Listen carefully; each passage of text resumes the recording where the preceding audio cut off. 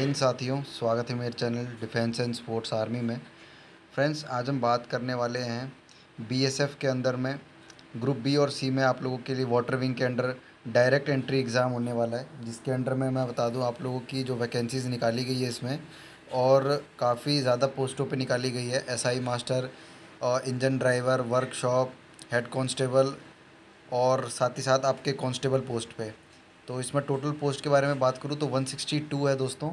और आप लोग को मैं बता दूँ, इसमें मेल और फीमेल कैंडिडेट दोनों इस फॉर्म को डाल सकते हैं। अब इसमें सबसे जो इम्पोर्टेंट चीज़ है, वो ये कि इसका ऑनलाइन एप्लीकेशन कब से है और इसका जो डिटेल नोटिफिकेशन है, वो कब तक आएगा। तो डिटेल नोटिफिकेशन दोस्तों, आप लोगों का कल तक आ आ जाएगा, जो कि इसके साइट पे अपडेट हो जाएगा। और साथ ही साथ मैं आपको मैं बता दूँ कि जिन भाइयों ने ओनली टेंथ पास किया हुआ है या ट्वेल्थ पास किया है तो वो किस फॉर्म मतलब वो किस ट्रेड में अपना फॉर्म डालेंगे, ठीक है? तो मैं पूरा वीडियो में बताऊँगा, आप लोग वीडियो को पूरा देख लेना और अगर आपको कोई डाउट होगा तो कमेंट ज़रूर करना, ठीक है? सबसे पहले तो मैं बता दूँ, ये आप लोग का जो भर्ती है, इसका जो फॉर्म है वो ऑनलाइन फिल होना है और इसके लिए अभी आप आपका जो डेट है वो भी निकाला नहीं गया है, ठीक है? डेट आपका निकाला जाएगा कल तक। कल इसका जो डिटेल नोटिफिकेशन वो जो है कि आप लोगों का अपडेट हो जाएगा साइट पे। अब यहाँ पे मैं आपको बताऊँगा कि जो इसमें जो एज है आपकी, जो एज लिमिट है, वो एक सात दो हज़ार चौबीस से लिया जाएगा, ठीक है?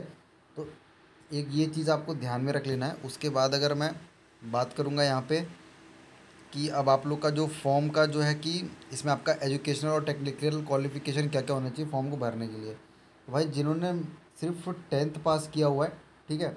तो टेंथ पास वालों के लिए तो मैं ये बता देता हूँ कि आपके लिए हेड कॉन्स्टेबल मास्टर। इसका आ जाएगा, जिसके लिए सिर्फ़ आपको टेंथ पास चाहिए और आप लोग के लिए सी रैंक का सर्टिफिकेट चाहिए। तो सी रैंक का जो सर्टिफिकेट है, ये मैं आप लोगों को नेक्स्ट वीडियो में बताऊँगा कि ये आप कहाँ से बनवाना होता है। ठीक है?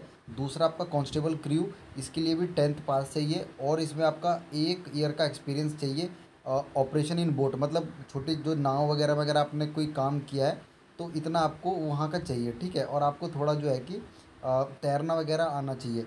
तो मैं इसके जितने भी सर्टिफिकेट्स हैं, इसके लिए एक नेक्स्ट वीडियो में बताऊँगा कि आपको सर्टिफिकेट्स कहाँ से बनवाना है, ठीक है? क्योंकि मैं बता दूँ भाई, आपको फॉर्म भरने के लिए भी वहाँ पे एक्सपीरियंस सर्टिफिकेट को अपलोड करना पड़ेगा, ठीक है? और बाकायदा उस सर्टिफिकेट का नंबर वहाँ पे डालना पड़ेगा, तब जा कर के आप अपना फॉर्म वहाँ पे अप्लाई कर सकते हो। अगर हाँ दोस्तों, और एक चीज़ जैसा आपको पता है कि अभी ए की नई भर्ती आने वाली है तो उसके लिए आप लोग को अगर मैं बुक सजेस्ट कर देता हूँ तो चक्षु पब्लिकेशन की आप ए की बुक खरीद सकते हो, जो कि सेना आयुध कॉप्स केंद्र के नाम से मौजूद है। और इसमें आप लोग को ट्रेड्समैन और फायरमैन के लिए प्रैक्टिस सेट्स वगैरह मिल जाएँगे। तो अभी तैयारी आप उसकी कर सकते हो। बुक में दोस्तों आपको उनतीस सौ पचास बहुविकल्पीय प्रश्न मिलेंगे और बीस प्रैक्टिस सेट्स मिल जाएँगे। प्रीवियस ईयर का पेपर भी इंक्लूड रहेगा। और बुक आपको ऑलरेडी स्नैपडील फ्लिपकार्ट अमेज़ोन पर अवेलेबल है। और डिस्क्रिप्शन बॉक्स में मैंने बुक के बारे में पूरा डाला हुआ है, आप वहाँ जाकर के परचेज़ कर सकते हो, ठीक है? और आप ए की तैयारी कर सकते हो। अगर आपको वर्दी लेनी है एओसी की और उसके अंदर में अपनी जगह बनानी है तो आप लोग पढ़ाई कर सकते हो बुक से और आगे जा सकते हो। अब बात करता हूँ यहाँ पे B S B S F को लेकर के।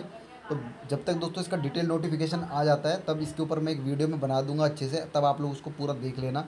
और सर्टिफिकेट्स के लिए एक नेक्स्ट वीडियो ज़रूर बनाऊँगा, और ज़रूर देखना दोस्तों से देखना मत भूलना भी, ठीक है? और अगर आपको वीडियो में कोई भी जानकारी चाहिए तो प्लीज़ कमेंट करो। कमेंट का जवाब आपको ज़रूर मिलेगा। जय हिंद।